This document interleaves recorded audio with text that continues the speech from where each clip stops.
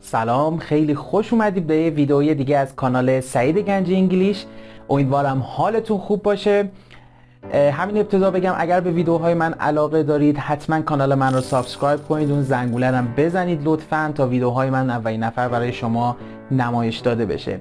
امروز می‌خوایم در مورد موضوع فوق العاده جذاب formal greetings صحبت کنیم. یعنی احوال پرسی های رسمی. من قبلا یه ویدیو ضبط کردم و توی کانالم قرار دادم در مورد احوال پرسی های غیر رسمی.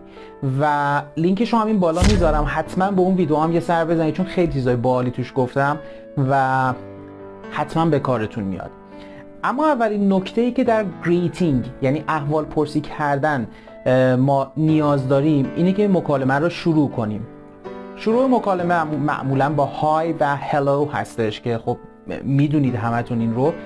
اما توی حالت رسمی ما خیلی وقتا میایم با عبارت هایی مثل good morning good afternoon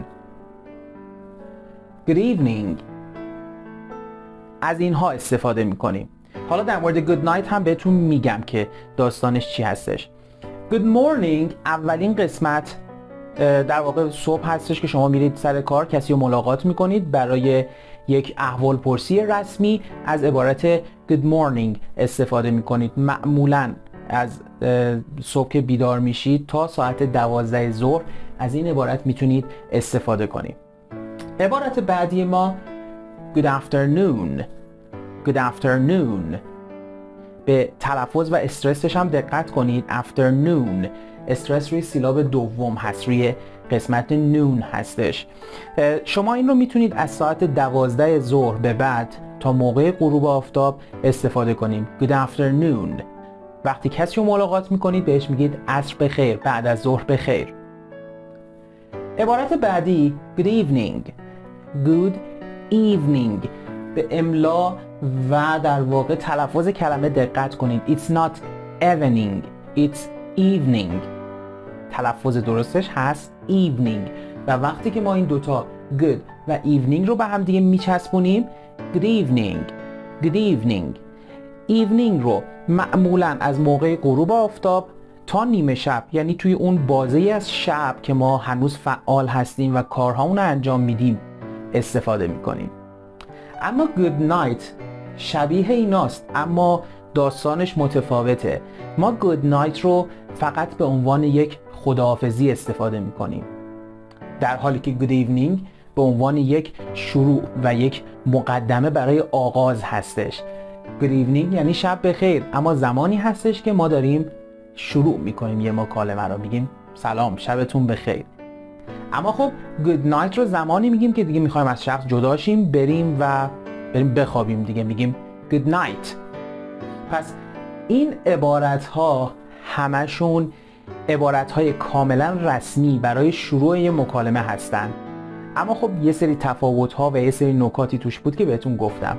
حتما این ویدیو رو یه بار دیگه مرور کنین تا این در واقع نکات توی ذهنتون فیکس بشه. بریم سراغ قسمت بعدی. خب توی این قسمت رسیدیم به اینکه چطور حالا بعد از سلام کردن سوال بپرسیم حال طرف مقابل رو بپرسیم و باش احوال پرسی کنیم. دو تا سوال اینجا می‌تونیم استفاده کنیم How have you been? How have you been? این سوال رو معمولا در مورد کسانی استفاده می‌کنیم که قبلا ملاقاتشون کردیم و ممکنه برای یه مدتی هستش که اونها رو ندیدیم و در واقع داریم می‌پرسیم از اون آخرین باری که همدیگر دیدیم تا الان چه خبر؟ چطورایی؟ How have you been? اگر هم بخوایم پاسخ بدین میگیم که مثلا uh, I've been very busy these days مثلا من این روزا خیلی سرم شلوغه. عبارت بعدی How do you do? How do you do? این عبارت عبارتی هستش که خیلی خیلی رسمیه و ممکنه دیگه قدیمی ها استفاده کننش. یعنی ممکنه خیلی توی انگلیسی امروزه این عبارت رو نبینیم.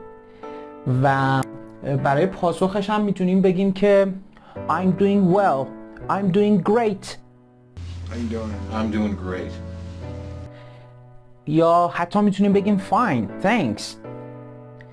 و حتی بعضی جاها من دیدم توی بعضی فیلم ها دیدم که در جواب how do you do طرف دوباره میگه how do you do. بنابراین اگر این رو هم دیدین تعجب نکنید و اما توی قسمت سوممون بعد از اینکه یه شخصی رو ملاقات کردیم بهش سلام کردیم حالش رو پرسیدیم و می‌خوایم مکالمه رو باش ادامه بدیم. از این عبارت ها و از این جملات هم می‌تونیم خیلی قشنگ استفاده کنیم چون عبارت های بسیار بسیار معدبانه و رسمی هستن. و قطعا وجهه خیلی بهتری به شما میدن. مثلا شما اگر دارید توی یک قرار تجاری توی اداره دارید با سابکارتون صحبت می‌کنید دارید با رئیستون صحبت می‌کنید یا حتی دوستتون رو شخصی هستش که حتی دارید برای اولین بار ملاقات می‌کنید استفاده از این عبارت ها نشون دهنده ادب شماست. پس عبارت اولیمون pleased to meet you. pleased to meet you. یعنی از دیدنت خورسندم از دیدنت بسیار خوشحالم. اجرای رسمیه. It's a pleasure to meet you. It's a pleasure to meet you. دوباره مثل قبلی. عزیزنت خوشحالم ولی به شکل رسمی و معدبانه It's nice to meet you. It's nice to meet you. یعنی از دیدنت خوشحالم. و یه نکته این که اینا رو ما زمانی استفاده می‌کنیم که شخص رو برای اولین بار داریم می‌بینیم. و اگر حالا این شخص کسی باشه که ما اون رو بعد از چندین بار داریم ملاقات می‌کنیم این عبارت می‌تونه عبارت قشنگی باشه. It's nice to see you again. Again یعنی دوباره. پس وقتی که ما این رو استفاده کنیم It's nice to see you again یعنی خیلی خوشحالم که دوباره میبینمت. این از اصطلاحات و عبارت هایی که برای احوال پرسی رسمی استفاده می‌کنیم. خیلی ممنونم که همراه من بودید. امیدوارم که این ویدیو بتونه براتون مفید باشه و حتی یک ذره دیدتون رو نسبت به یادگیری زبان انگلیسی تغییر بده و بتونه توی موقعیت های حساس به کارتون بیاد. subscribe فراموش نکنید. بازم تشکر می‌کنم. شاد باشید.